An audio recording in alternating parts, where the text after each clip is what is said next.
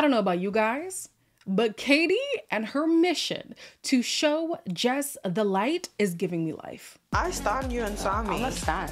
Yeah, but does it not worry you if Mel didn't get dumped? You two would never rekindle. Yeah, but she, there's a reason why she got dumped. Hello, everybody. Welcome back to my channel. My name is Queenie. For those who don't know me, reviewing Love Island season 10, episodes 20 and 21. Y'all have sent out a search and rescue, and I am so touched. like, I'm just like, oh, you guys make my heart so full. Like, I got Twitter messages, I got Discord messages, I got Instagram DMs. Like, y'all were like, where are you?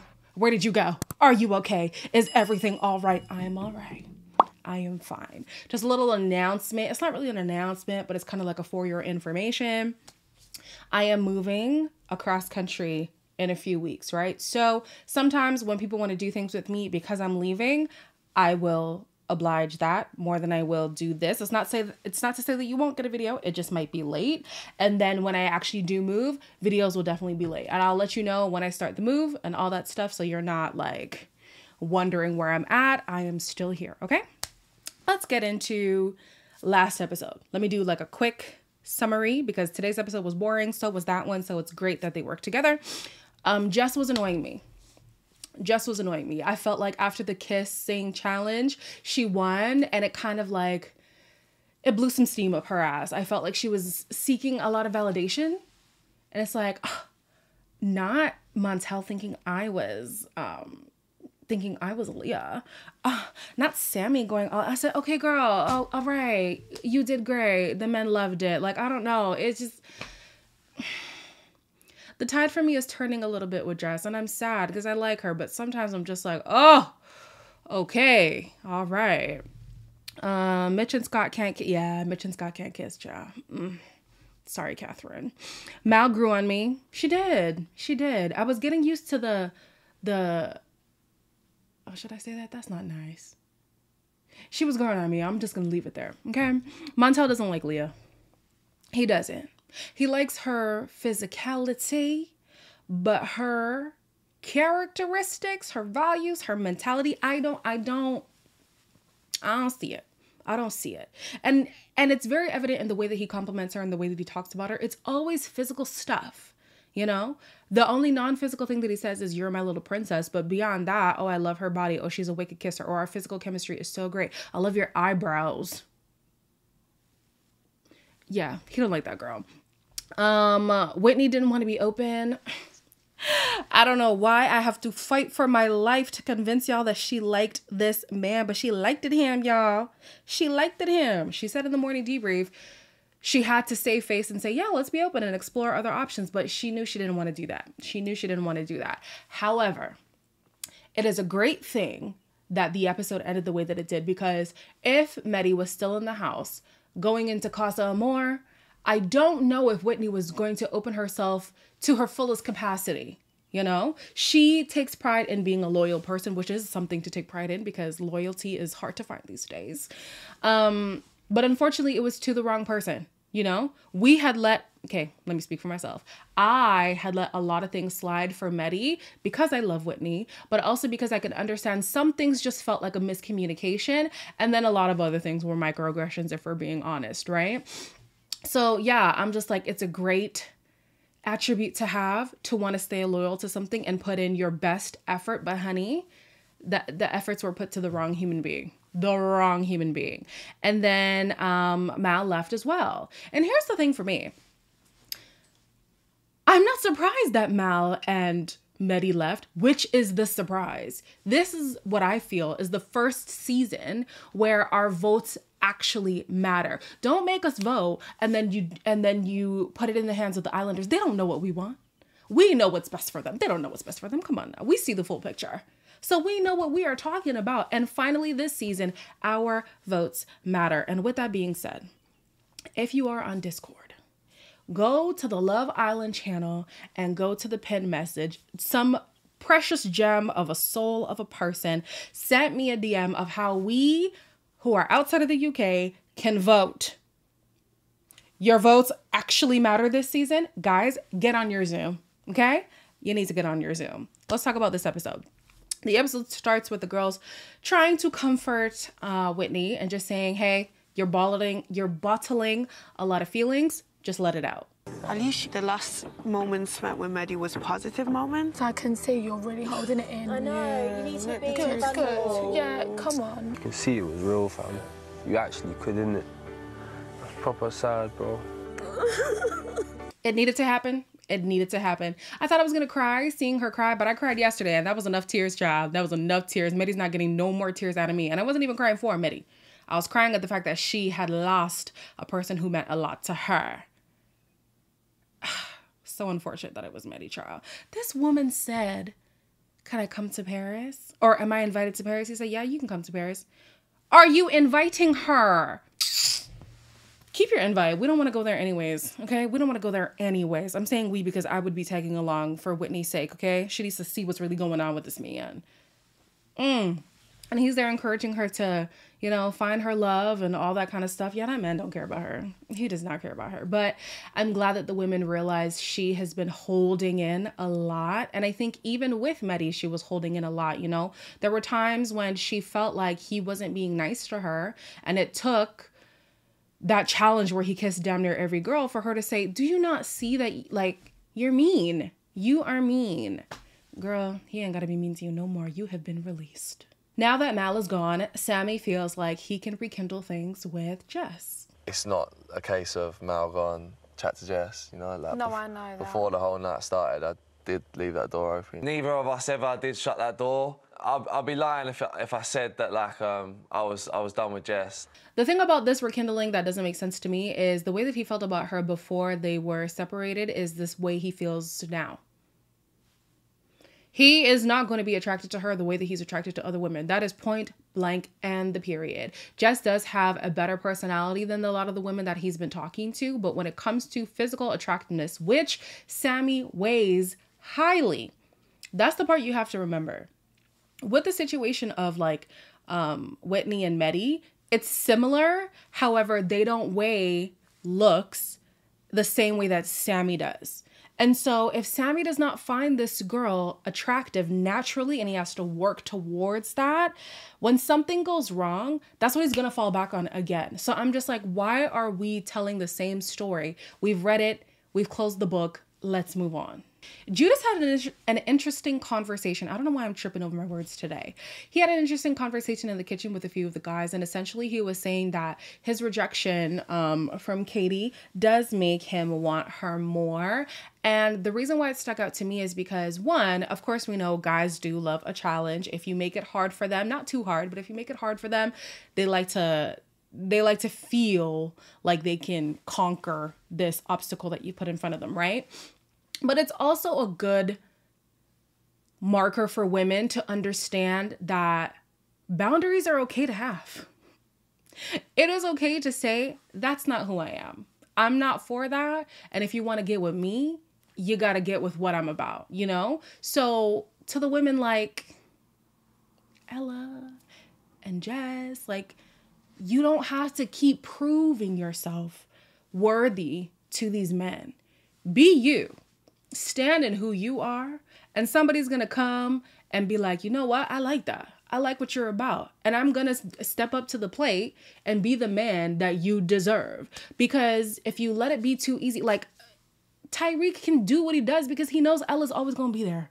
Sammy can do what he does because he knows jess is always gonna be there. But if you stand your ground you stand your ground you say these are my boundaries. They have to decide okay Am I going to be up to the challenge and actually do what this woman is requiring me to do? Or am I going to step back and say, listen, I'm not even that guy. Let me move on. I thought that was a great conversation. I wish some of the women were there to hear it. The next morning, quickly going through the debriefs, um, the girls were encouraging Whitney to move on, and her interests are Montel and Judas. However, Judas isn't to Kady. They think that they're getting closer. Okay. Uh, Catherine is happy in her couple with Scott. Sammy wants to make a move on Jess. Jess wants to make a move on Sammy. And so they have a conversation to see where they stand. At least it's not like I'm left here without any kind of connection. You are. Oh, am I? okay. The way we walk about the villa and that, always like a bit of eye contact, a bit of flirting and that, it's like, I was happy with Mal, but like, did still think about you a lot and did still have feelings for you, so.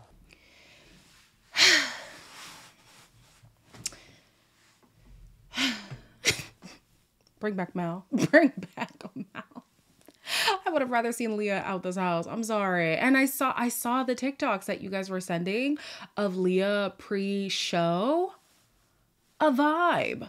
A vibe. I might understand this whole hair color as the personality thing because when she had dark hair, she was a vibe. The blonde hair, I, I don't know. I don't know what the peroxide did, y'all, but um, yeah, I just I why why why are they trying to get back together? It just it doesn't it doesn't make sense to me. Montel takes Whitney for a chat, and I don't know if he was joking or not, but he literally admitted that he pities her. I don't want to see by yourself, Steve. Are you pitying me? Yeah, a little bit. I want to be me. I want to be in control of my emotions, but I definitely don't want a man to shift how I feel. Just been going on for ages. Doesn't bother me like it bothers you. It looks really physical and flowy. Whitney herself said she doesn't want to lead. And with Montel, she would be doing just that. She would be doing just that. Girl, he is not it. I think they have great banter, like as homies, but it, I, I just, I just don't see it after that. I really don't. I really don't. And I found it rich how all the guys were trying to not even the guys, some of the girls too, were trying to wind up Leah saying, Oh, aren't you jealous about that?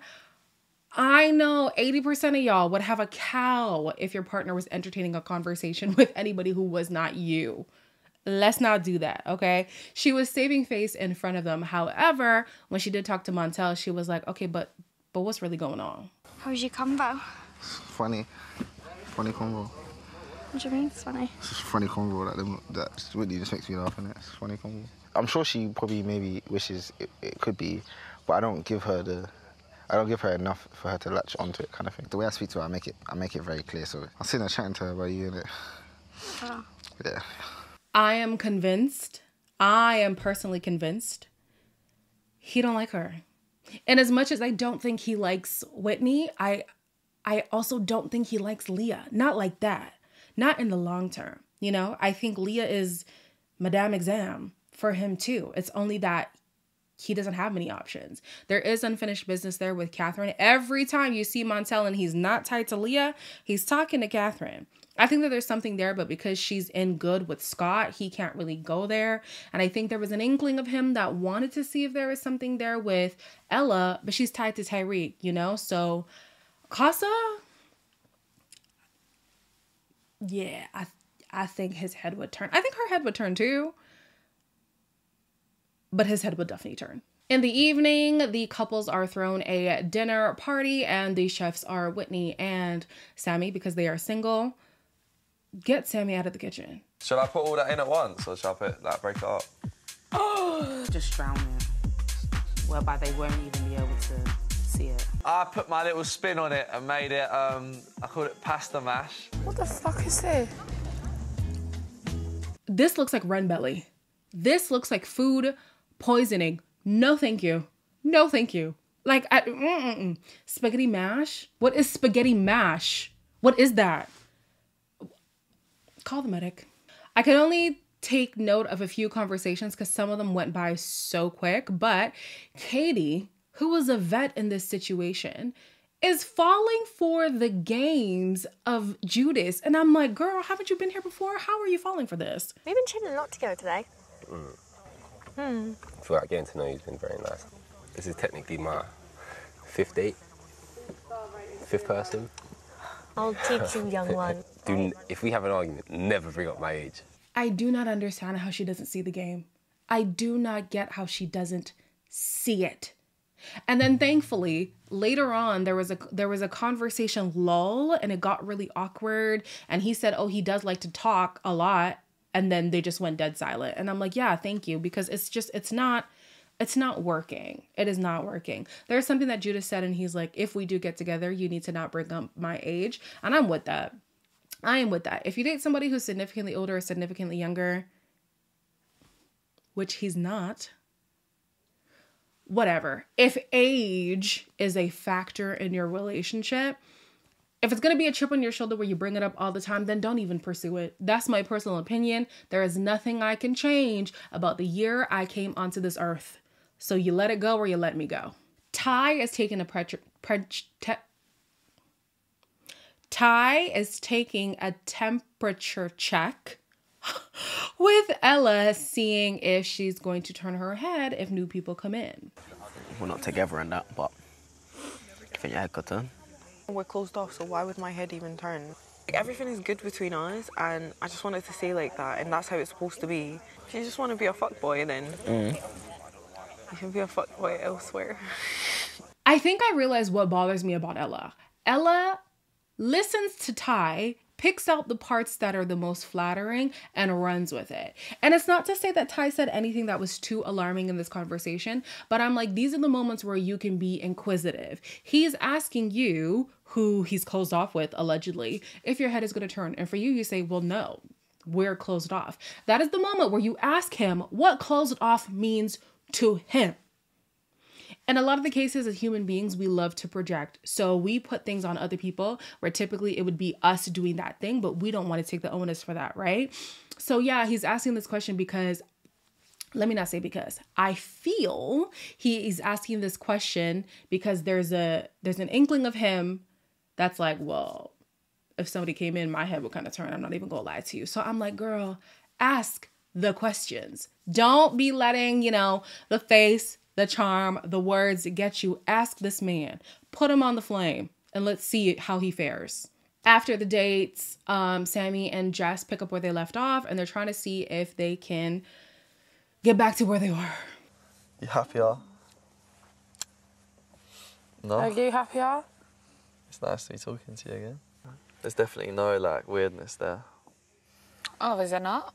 Not from my oh, point, Oh, point right. of view anyway. There might be from yours. We, we have the chance to sort of pick up where we left off now, and yeah, I mean, it's it's de- it was definitely unfinished business there. all that I ask, all that I ask is if they do this again, Sammy does not treat Jess as if he is doing her a favor by being with him. Her, her, by being with her. Yeah. That's all that I ask. If it doesn't work out, that's fine. Relationships end. But don't make it this thing of like, I was the prize. You were lucky to be with me. Like, I just, I hate, oh, I cannot stand it. I just cannot stand it. If he's not going to pursue her genuinely, just don't pursue her at all. Then the episode ends with Judas and Whitney, and I'm just like, I saw it coming, you know, when they did that, um, that red card challenge. She wanted to see what the hype was about. They actually did kiss at the heart rate challenge. They chopped it up a little bit, but you can see that there was a kiss in there. Like it's been brewing, so I'm not completely shocked. I like this outfit today. You look good. Thank you. Nude vibes. Tan. You're not brown? I love brown. You know. You be lurking in the corners. Why I'm- are you be lurking? Why are you not straight I'm up? not. I, you, I feel like I don't know. How come you be kissing me and in challenges? Like, Why not? What, is that bad? but you be treating me real special. Do you feel like our conversation have put a spanner in your work? This has been a good conversation, to be honest. Definitely a good conversation. Let's have another one tomorrow. I actually think that when it comes to lifestyle, their connection works better than his other connections and even hers. Her and Mehdi in the real world, who knows if they were going to work out, but I highly doubt that it would have. Um, and then even with Judas, I don't think him and Molly would roam in the same circles. I don't think so. I also don't think that he and Kady would roam in the same circles. Maybe he and Catherine, but even Catherine, she's she's yeah, I don't know. I don't know. I think that it makes more sense with Whitney, but I, like I said, I like to put myself in Whitney, and I think that Whitney is a lover girl, and Judas is saying that he wants to be a lover boy, but as of right now, he is not. He is not. So if Whitney is okay with the game, all right, girl, all right. But if she's not ready for the game, then Judas is not the one to pursue. I'll tell you that for free. I don't know why they didn't give us a tomorrow night. It better be the fact that Casa's coming and they want it to be like the element of surprise, even though we don't know the timelines. Um, Casa better be on the way because these lovey-dovey episodes, I'm tired. I've had enough. I want, I want some drama. I want some excitement. I want some chaos. Thank you.